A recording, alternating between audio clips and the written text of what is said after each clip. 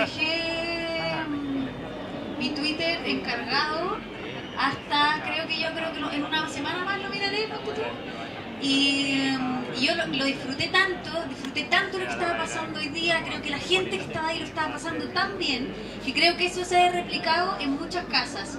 El humor en ningún caso eh, es súper subjetivo, por lo tanto, la mitad de la gente me ha encontrado genial y la otra mitad me va a encontrar súper fome. No sé, yo encuentro que es bueno que en el fondo nosotros nos riamos de nosotros mismos también y, y que si alguien dice no, no es tan así, bueno, yo creo que evidentemente yo represento a un cierto a una cierta cantidad de mujeres y también puedo representar a una cierta cantidad de hombres, pero generalizar con el humor es imposible, po. imposible. Yo hablo así. Yo lo que quería hacer era hoy día estar en la quinta como hablo con mis amigas. Y eso fue lo que hice hoy día. Em, ¿Tú en particular me encontraste muy grosera? Es que tú eres un hombre muy bien criado. Entonces, eh, yo encuentro que hay un, eh, un doble estándar impresionante. Porque yo no conozco ni en el barrio alto ni en el barrio bajo a ninguna mujer que no hable con garabatos.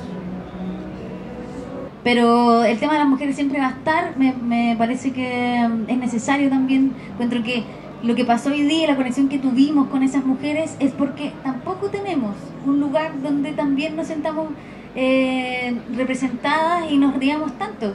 Yo sentí que hoy día de verdad eh, lo gozamos. ¿Fuiste al baño? y estaba, estaba bien nerviosa, estaba bien nerviosa pero nunca me esperé que me recibieran como me recibió la gente. De verdad fue impresionante sentir ese cariño y sentir cómo estaba funcionando como yo me lo había imaginado mis mejores sueños igual. De verdad siento que mm, claro, esos nervios iniciales estaban así muy presentes. Es cierto, lo contó el Rafa, me empezó a sonar la alarma del celular y decía que suena y era mi reloj. Eh, pero ya cuando entré lo, lo empecé a pasar cada vez mejor de verdad la odiosidad de, la- de las redes sociales no las voy a tomar en cuenta, no me voy a hacer cargo. Probablemente en un tiempo más las vaya a revisar y si hay algo que me hace sentido, seguramente eh, lo voy a poder eh, analizar o ver si me, si me sirve de algo. Pero me parece que hoy día me voy a quedar solo con lo que viví en la quinta, que fue muy bonito.